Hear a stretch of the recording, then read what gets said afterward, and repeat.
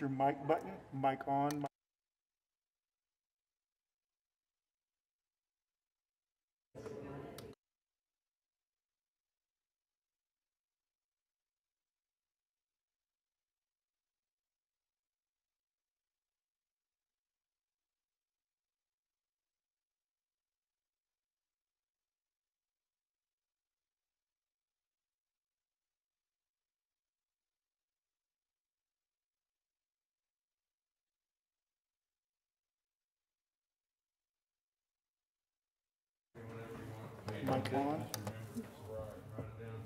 Hey, guys, it's a, uh, it's 11:15. We're supposed to start. Do we know who else may not be joining us, commissioner-wise, for the UDC? I think Rusty was coming. Kamal was supposed to be here. I know Janice will not be here for either this or for planning commission, but I'm going to wait just a minute before we get started, before we call the meeting to order, just to see if anybody else shows up, because I know people are having to sign in and take temperature checks and all that, so we'll, we'll exercise some patience here.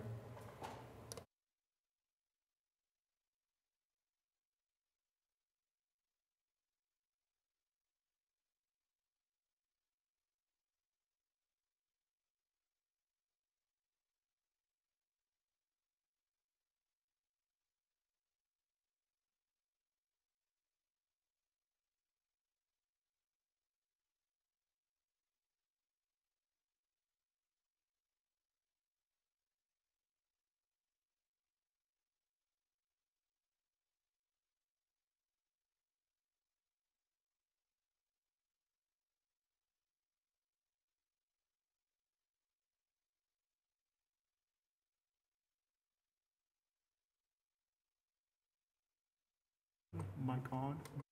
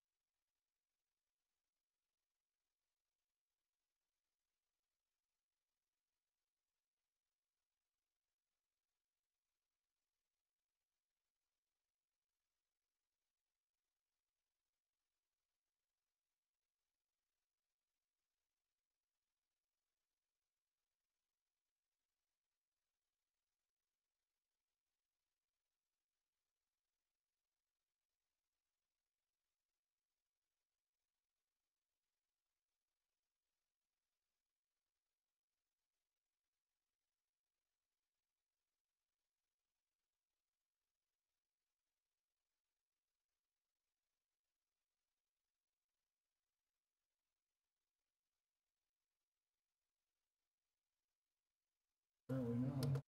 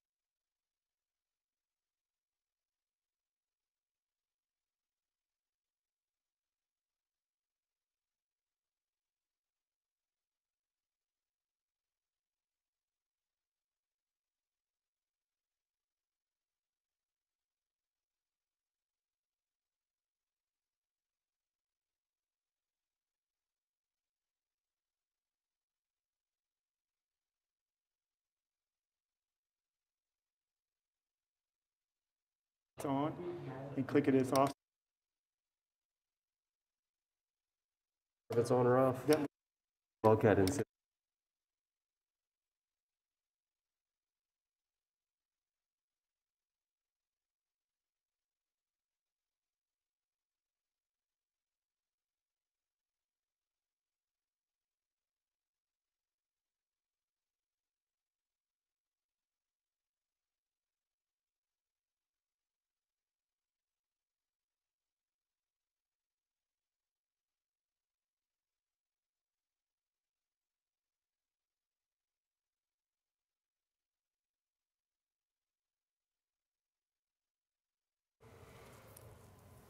Everyone, we'll let uh, Commissioner Coffey get settled in, and then we'll get started. Thanks again for your patience here.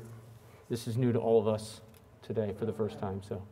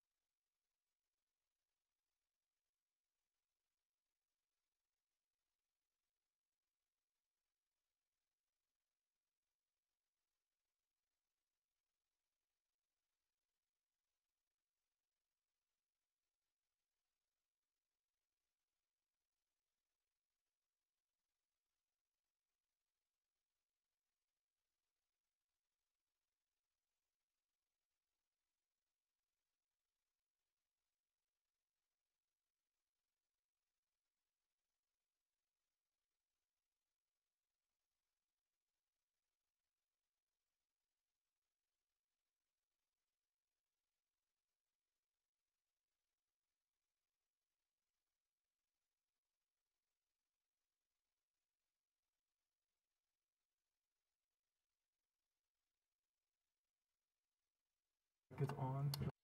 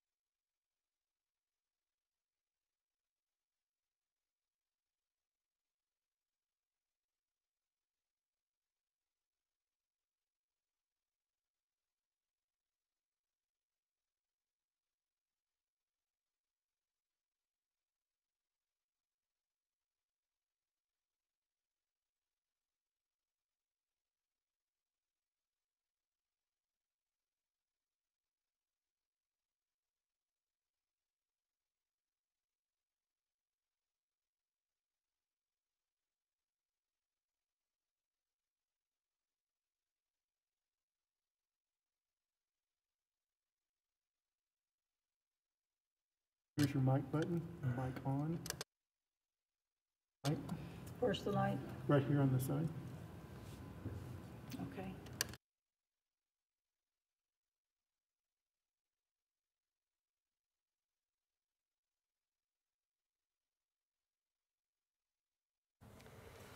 Okay, everyone. Well, thank you, first of all, for your patience. Um, As you probably know, this is a new council chamber to us as well, so we're getting oriented, and we appreciate your grace there as we get started.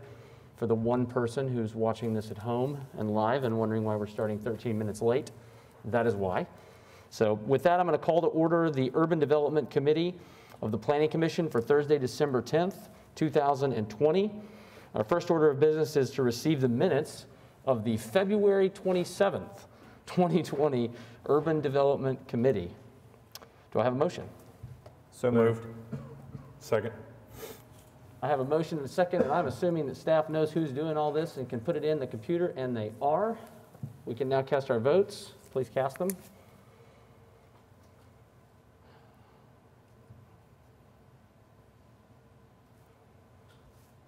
Okay, the minutes are received. We've done something. Excellent. Our next order of business is why we're here today. It's a discussion and recommendation on a proposed ordinance uh, relating to amendments to the zoning and planning code. Just simply put, it involves uh, urban conservation overlay districts. Uh, I believe someone from staff is here to present on this item for us. Katie, is that you? Excellent. I'm the principal planner for current planning and urban design in the planning department. And uh, I'm going to zip through this presentation to kind of refresh on this ordinance. Most of you have seen it once or more than once before, um, and then hopefully have a little bit of time for discussion. Uh, We are representing this because it was uh, last presented about two years ago. Renewed interest from uh, members of city council has prompted us to bring this back to you for further consideration. As revitalization and infill development has increased in some of Oklahoma City's established core neighborhoods, we have heard requests for an enhanced level of design review that would ensure compatibility while still allowing flexibility in revitalization. Initially, we developed a new overlay called the Traditional Neighborhood Overlay. As we were working on this, we also evaluated an existing tool, which is the Urban Conservation District overlay. Uh, each of these urban conservation districts has unique guidelines, and they're very difficult for staff to administer. Uh, we have not created new urban conservation districts in many years because of that, but we realized that this was had a similar purpose and intent to what we were working toward with the traditional neighborhood overlay. Ultimately, we decided to approach this by incorporating the concept of that first traditional neighborhood overlay into an amendment to the existing urban conservation district ordinance. This retains all of the provisions of the UCD for existing urban conservation districts. Their requirements and regulations and guidelines do not change, but would allow new neighborhoods to come in under the new guidelines adopted. Uh, New neighborhoods requesting the UCD overlay would be required to go through a design review process and obtain a certificate of approval only for work that requires a building permit. Work can largely be approved by Planning Department staff with a process for review by the Urban Design Commission, one of our design review bodies, for certain items. The amendment to the UCD overlay establishes one set of design guidelines that apply across the board to all districts. The guidelines use the surrounding context of neighborhood uh, characteristics uh, as a reference point within the guidelines to provide for compatibility established by the neighborhood character. Uh, Again, these guidelines and the design review process would only apply to new uh, urban conservation districts as those are adopted. So a neighborhood would become an urban conservation district uh, by rezoning into the overlay, just like they would go through any other type of rezoning process. Uh, It could be initiated by city council, by planning commission, by the urban design commission, or at the request of the neighborhood with a showing of at least 50% support of property owners within the defined boundary. Uh, It would then come to the urban design commission and planning commission for a recommendation, and on to city council for final approval, just like any other rezoning that you all see um, all the time. So at this point, uh, we've done years, uh, actually, of outreach and development on this tool and have presented it to numerous, um, at numerous public meetings. Uh, We are presenting to you all today and intend to go to the Urban Design Commission for presentation next week, and then back through all of those bodies for recommendations and ultimately approval if we um, are able to proceed. So I'm going to quickly go through what the ordinance covers. Um, The amendment retains the basic uh, layout of the Urban Conservation District ordinance, adding in a section for design guidelines and a design review process, and clarifying the provisions that remain in place for the existing urban conservation districts. The ordinance uh, clarifies the purpose and intent of the districts as facilitating growth and revitalization while providing oversight for major projects that could impact a district's physical character. The tool is an overlay, a zoning overlay district, meaning it applies in addition to any base zoning requirements. The overlay district would not regulate use. Changes to base zoning requirements would still go through the regular process for things like variances or SPUDs and PUDs. The overlay requires a certificate of approval only for exterior work that requires a building permit. These are major projects like additions, demolition, new construction. Approval can be granted by planning department staff in the majority of cases, or for some things by the Urban Design Commission. The ordinance establishes guidelines for different categories of work. Guidelines for changes to existing buildings address major changes like additions, structural changes like alteration to porches and roof forms. Guidelines address new construction, emphasizing the compatibility of massing and proportions with the surrounding block and area. They encourage compatible design without replicating or mimicking existing buildings. New construction guidelines also establish principles for design of buildings for which there are no comparable reference points in a district, such as adding a multifamily or a commercial property in a district where there aren't no, are none of those property types. The guidelines emphasize compatibility in things like building orientation, placement of doors and windows, proportion, and scale.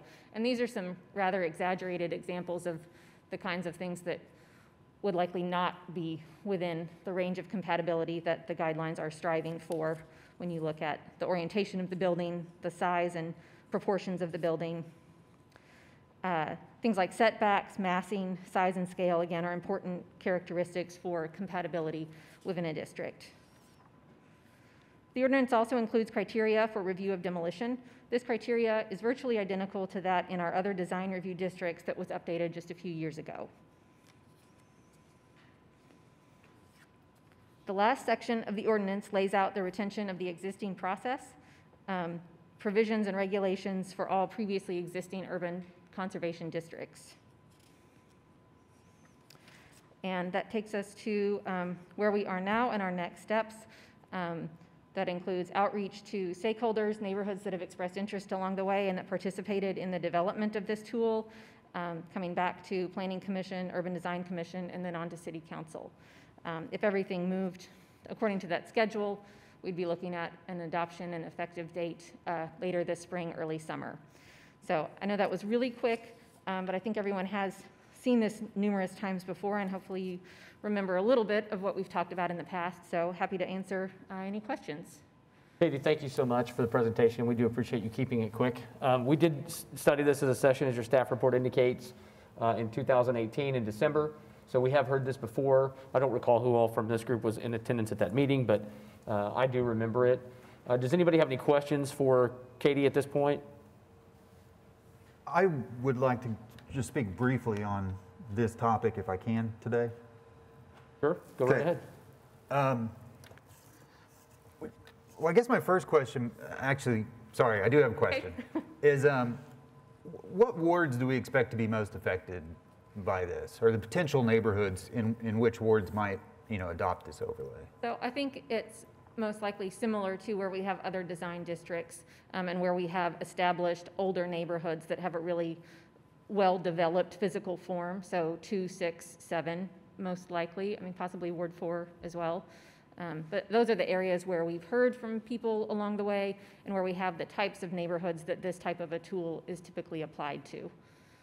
Um, Well, I guess my, my purpose in asking that is, I, I just want to acknowledge that, you know, Janice isn't here today, and she's probably going to disagree with most of what I have to say. Um, And, you know, I really struggle with this, and Katie knows, you know, we've talked a lot about uh, just these kinds of protections, and like we're, it, it's tough for me to, to kind of rectify what I understand is in our comprehensive plan document uh, in terms of adding densification, and what to me tends to be a stumbling block, block for that densification, which are these types of neighborhood protections. Acknowledging like the oldest neighborhoods in the city are always going to be closest to the core because cities develop from a center point out. Um, the trouble with that, again, though, is that you know the places where cities most, you know, appropriately should add density are also closest to that core. And to me, where I really struggle and, and where I want to acknowledge uh, the, the letter that we got from uh, uh, Mr. Zitzow from Johnson and Associates, um, I think they put it very well uh, in, in several different instances. The same troubles that I have, which is that we're kind of talking out both sides of our mouth, where we say we, we want to really, you know, focus this density in the areas that are appropriate. We've got people, you know, coming that, that, that I think rightly in more rural areas struggle with this, uh, you know, the added densification. And it's like, well, as a city, right? I mean, those rural areas probably more deserve to stay rural than the core of the city to stay single family, say. Um, it's hard for me, it's just this kind of, these kinds of added protections I know tend to, at least in practice that I've seen, only go one direction. Um, they're, I, I, I, you know, I, I don't know that I have anything more eloquent to add to that. It's just, I don't know how we can continue to add these types of protections, but also execute our comp plan, um, the, the spirit of that comp plan, especially like, you know, in, in wards such as mine. So, Uh, Commissioner Smith, I, I, I agree with what you said, and, and you may be surprised. I won't speak for Commissioner Powers. but I will tell you, she called to express her concern over this going forward since she wasn't going to be here today. She did not think that this should go forward. Um, and she wanted to, which I think is right, when we met in 18, we had the discussion of saying, hey, look, why are we taking this through if there's a comprehensive development code coming? Let's do it as a part of that. And my, my thought there, really, just in sort of giving feedback to staff about this, is I agree with everything that Asa said.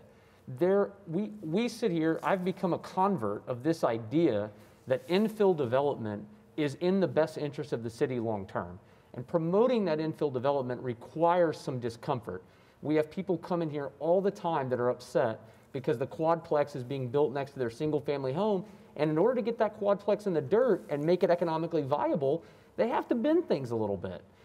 Adding additional regulations that, with all due respect to design boards, that they're going to parcel through and decide what is and is and should and shouldn't be done is not palatable for me as a commissioner. There is no way I would support an application to add an architectural or design review component to what's coming through.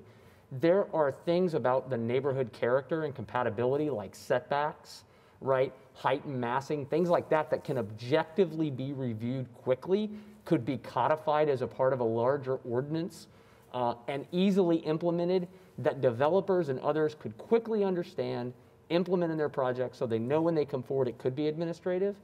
But having the Urban Design Commission review these things and letting neighborhoods add in, all that's going to do is reverse the infill promotion we've set here and approved in these neighborhoods throughout the city, in my opinion, in a, in a, in a large way. And that's contrary to what's in the best interest, I think, of the city long term. I say I think because I don't know that, but I've become a believer in that from being on this commission for a while, listening to city staff preach that, uh, listening to Public Works and others promote that, not just planners, right? Uh, and and, and it seems to make sense to me. This would reverse that. And I think Mr. Zitzow's letter, uh, which I also read, uh, Mark, uh, articulates that well. We don't need to articulate that here uh, any better than he certainly did. But uh, I think I'm in agreement with you. Does anybody feel differently on these points? I think this is what matters. Should this go forward on its own as a standalone basis, right?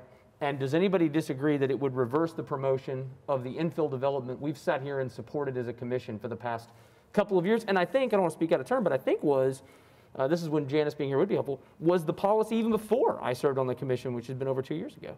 Is that, anybody disagree with that?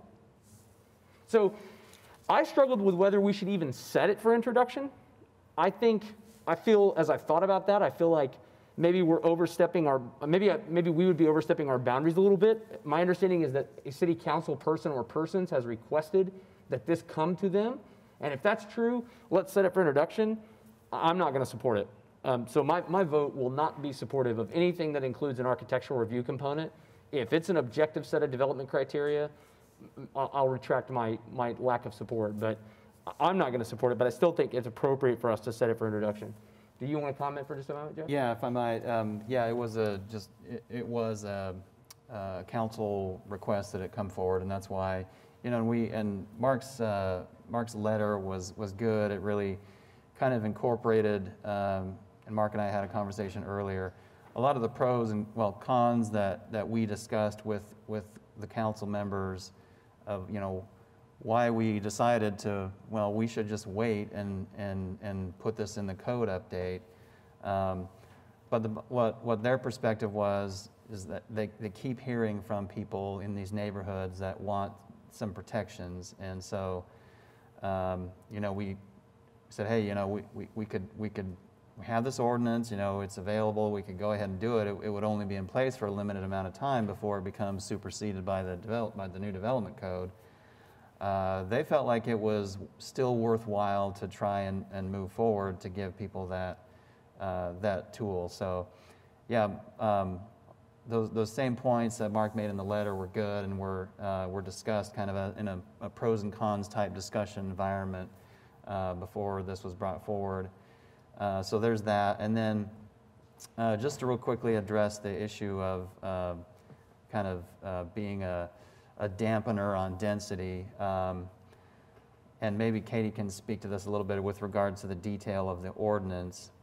But the way, the way it was intended to work is to actually accommodate density. The, the, the issue that we have and why we think a, a nuanced approach is worth discussing is that if you, you know, some of these neighborhoods just, um, if they don't have some level of, of what they perceive as protection, um, they tend to be more reactive. You know, if there's no design guidelines that are saying, you know, it, it's okay, we can, we can add density in this neighborhood and it will still fit in, it'll still look appropriate, it'll still, you know, you're not going to have this, you know, some of those kind of not so good looking images.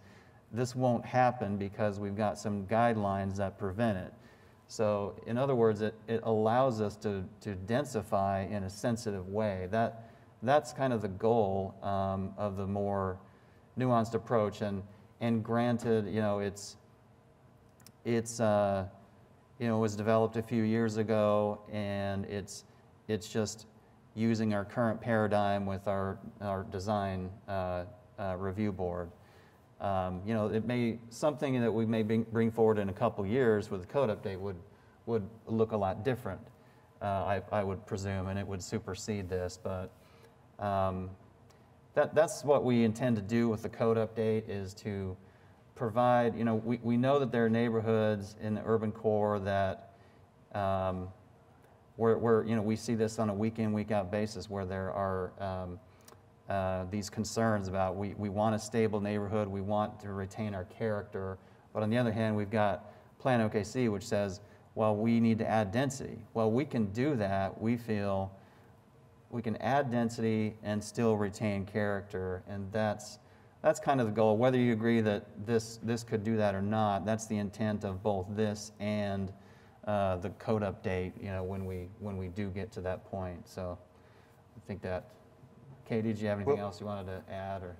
I guess, I guess for me, and, and, and I feel like this was somewhat uh, Scott's comment, it's can we codify that in objective criteria versus it going to a, a design review board? Because to me, that's where a lot of that subjectivity gets put into the process, and suddenly people are denying densification based on, you know, more subjective reasons. And I just, it, it's that risk that adds the cost to construction. And we are increasing the price in these neighborhoods where, you know, now, where I think traditionally we've always had people come in and, and cry foul that we're going to lower their property values. We're starting to get the first arguments that we're going to raise property values now. And the question is more like less about, you know, to, to, to me, those types of things is more about how do we, how do we legitimately like stop adding cost to construction, stop adding cost to, to, to rentals, to, you know, uh, purchase prices of homes that, that just are unnecessary burden for our citizens.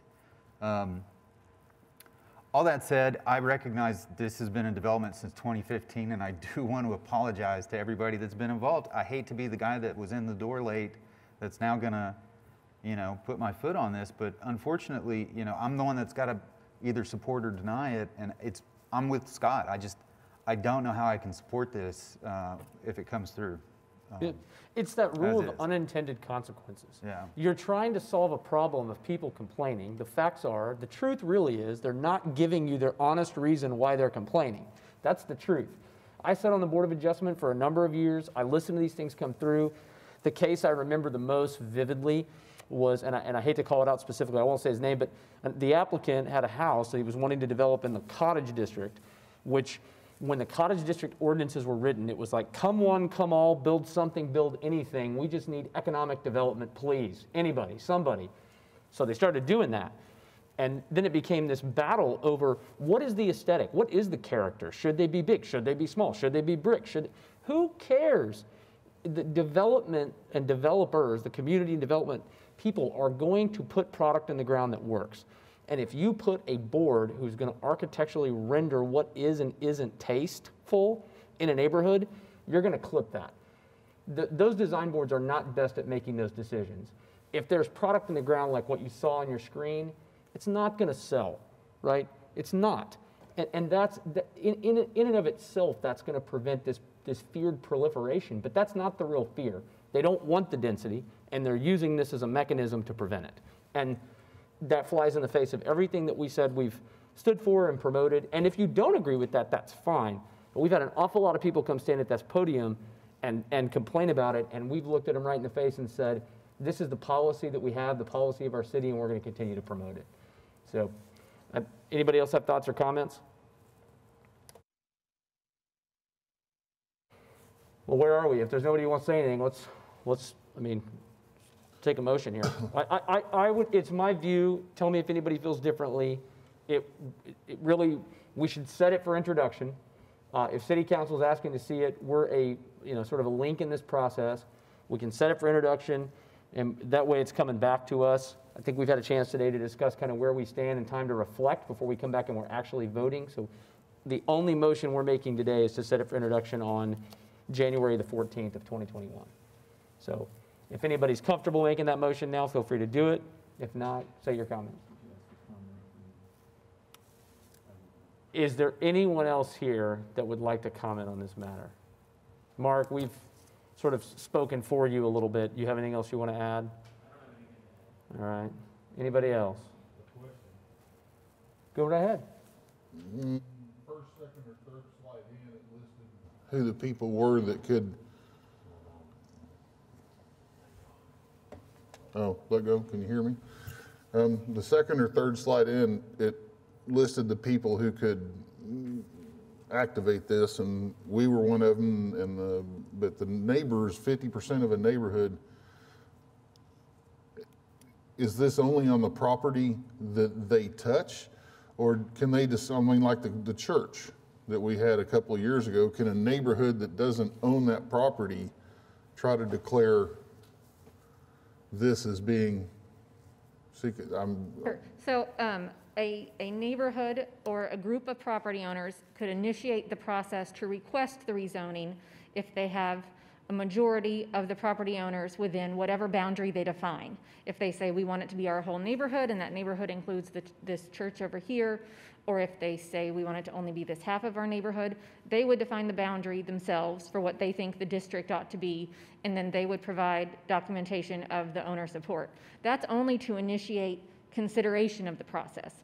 Ultimately, you all review it and provide a recommendation on whether or not you think that area or that neighborhood is an appropriate location for the district.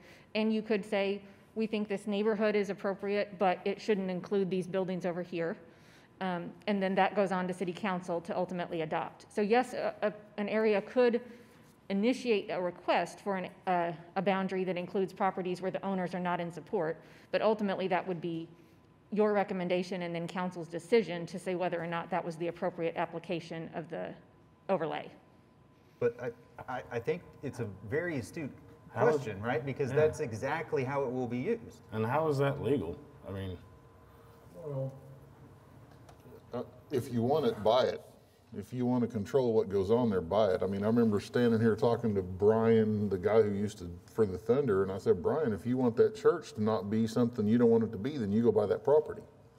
And that was not in their wheelhouse, so, I, I mean, that's my, not necessarily a question statement. We don't need to make this to where some unsuspecting victim who happens to That, um, that piece of the ordinance is written consistent with some of our other zoning district ordinances, and that's certainly something that could be modified.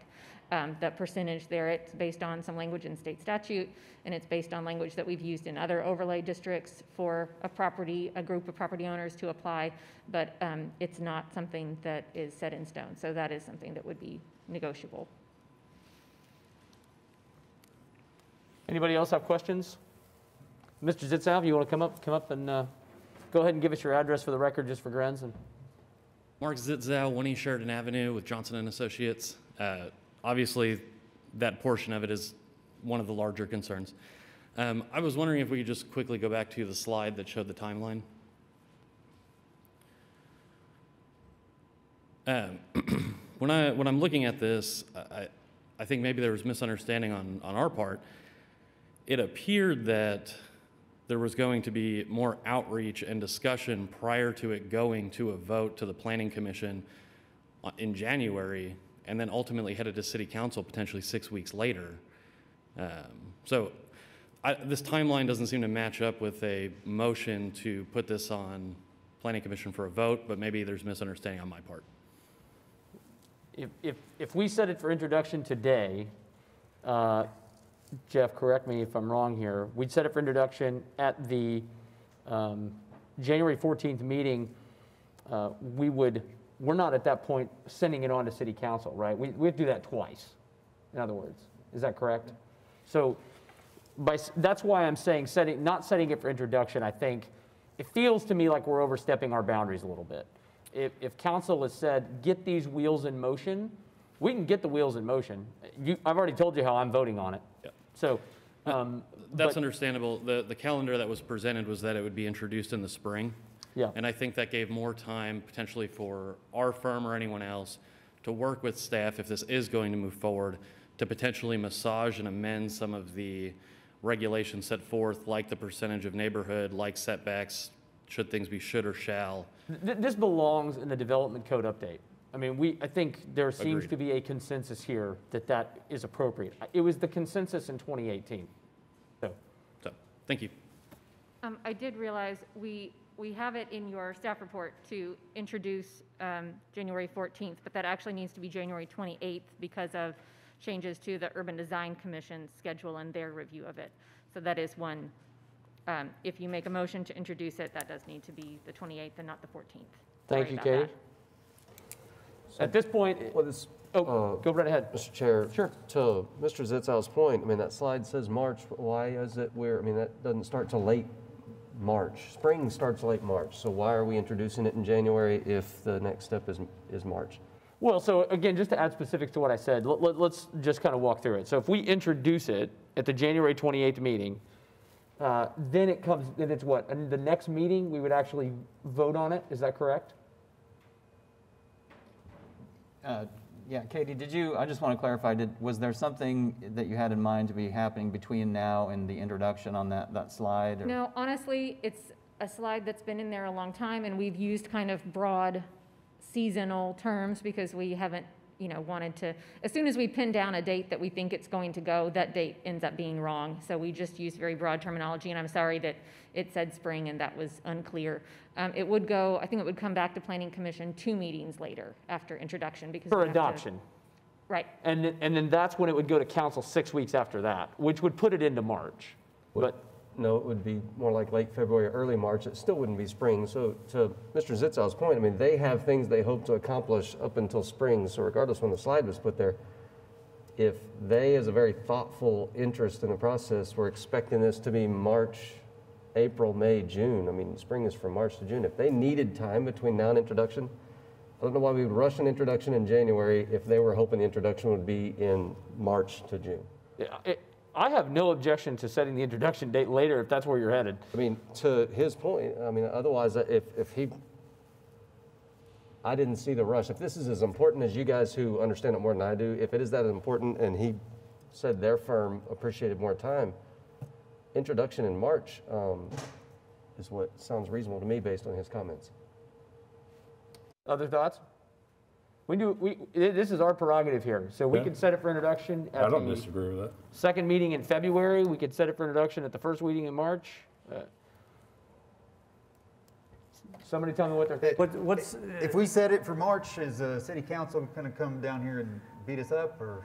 well, there's not, I mean, there's not much they can do about it. Right, okay. Um, Well, I'll make a motion.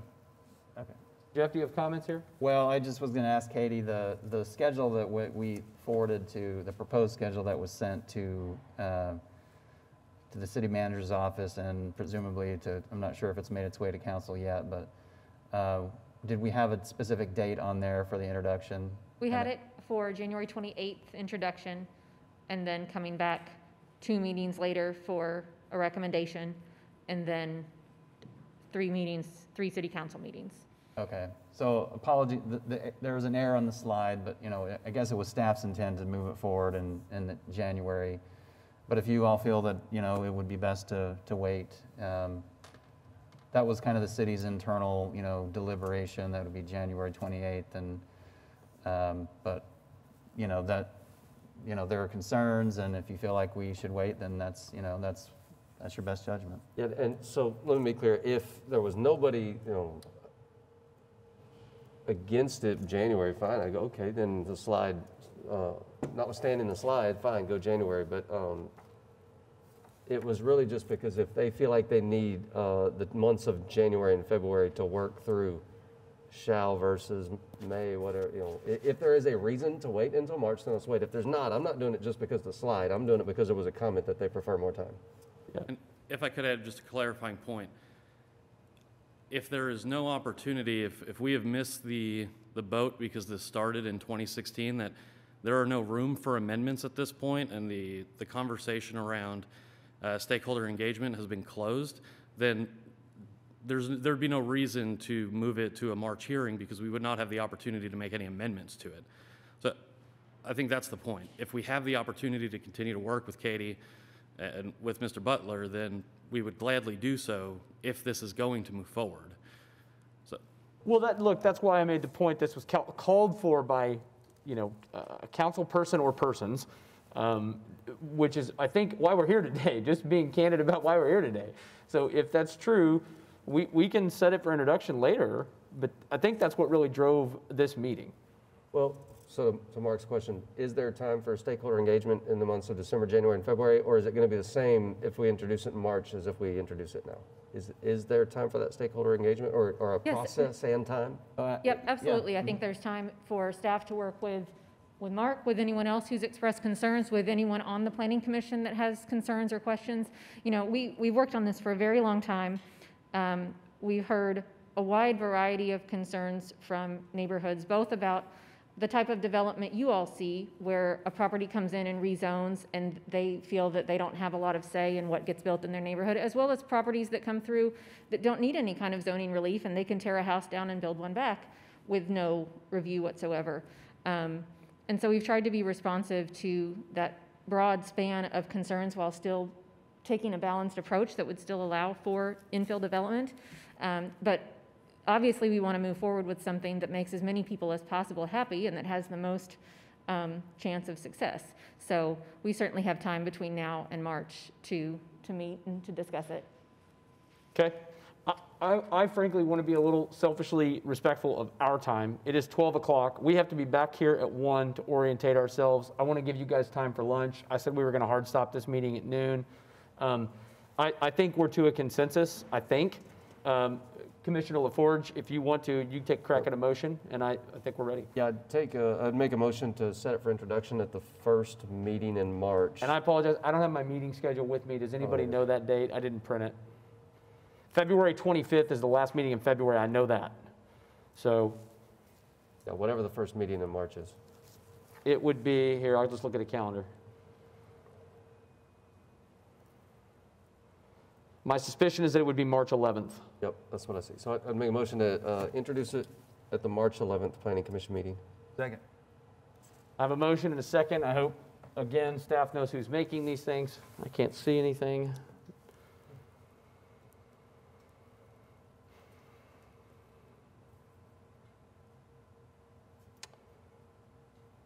We're just waiting for the motion here.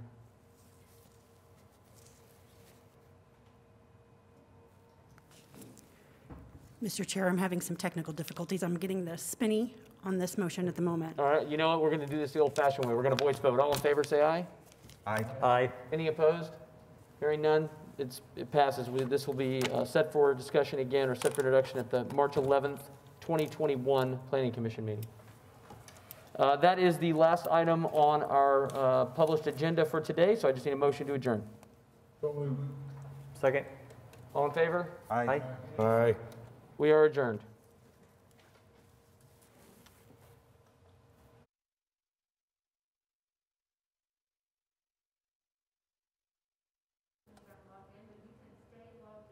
Screen will stay up. Uh, You can stay logged into PrimeGov, and it'll all be there when you come back from lunch. You'll have to sign out of this meeting and into your Planning Commission meeting, and there'll be uh, city staff to help you guys with that. Yes.